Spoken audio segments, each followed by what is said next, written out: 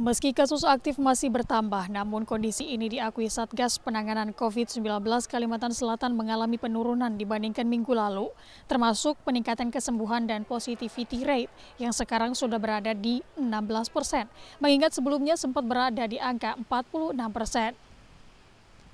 Kendati demikian, Kalimantan Selatan bukan berarti aman, mengingat target positivity rate seharusnya di bawah 5 persen.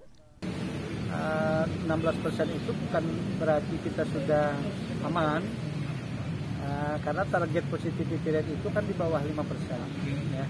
kita tetap berupaya 3 T nya jadi tracing dan testing tetap ya. Treatment juga tetap waspada.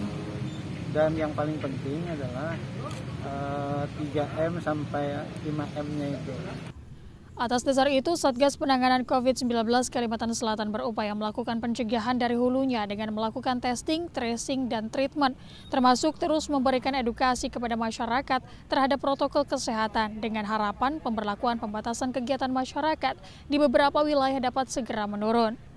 Terhitung sejak Minggu 5 September 2021, penambahan kasus aktif COVID-19 harian di Kalimantan Selatan terpantau sebanyak 178 kasus, didominasi oleh Kabupaten Tanah Laut dengan 77 kasus.